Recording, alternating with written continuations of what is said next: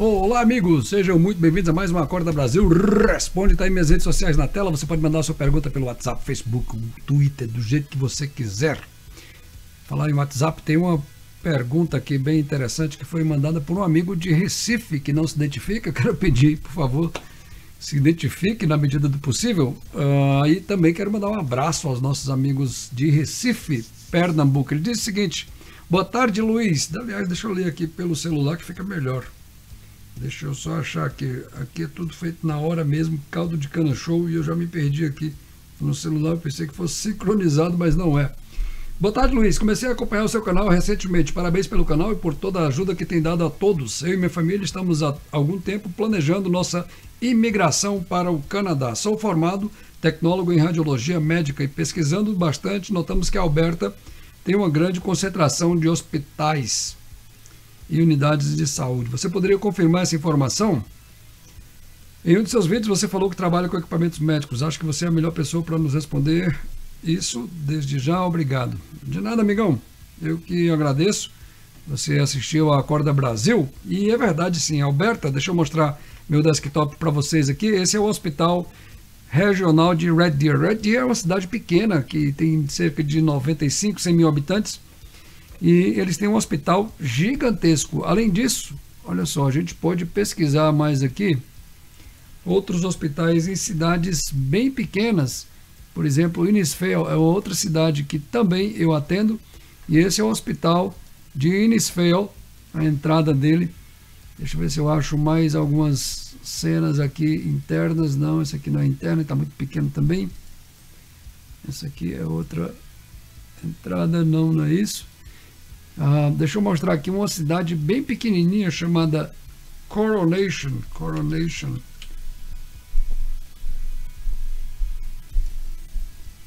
Deixa eu mostrar para vocês. Isso aqui é a entrada do hospital de Coronation. É um hospital de uma cidade bem pequenininha. Eu acho que, deixa eu ver quantos habitantes tem em Coronation. Coronation Population, ficou igual aquele negócio de embromation. Coronation, deixa eu ver aqui. Aqui é hospital. Vamos ver. Population.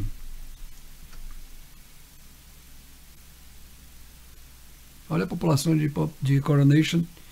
940 habitantes. E eles têm um hospital totalmente equipado com raio-x digital, com, com, tudo que precisa, com, com uma, uma infraestrutura. Por que eu estou falando isso para vocês? Porque aqui em Alberta, aliás, não só em Alberta, mas no Canadá inteiro, eu já trabalhei em vários hospitais do país.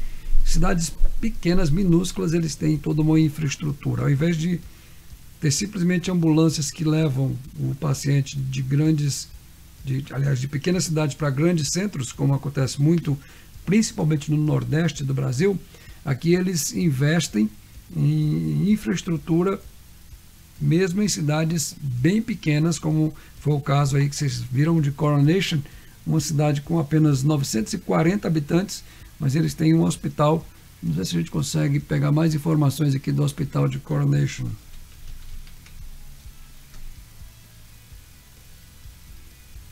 Deixa eu ver aqui.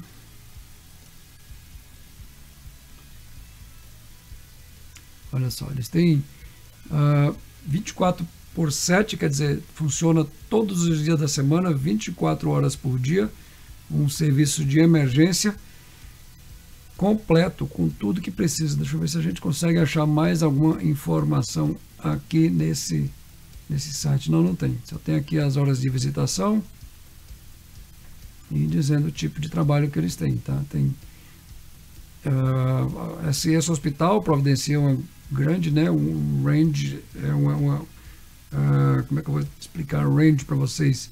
Uh, uma variedade de serviços de healthcare, né? De atendimento de saúde, de serviço de saúde, incluindo um serviço de emergência que funciona 365 dias por ano.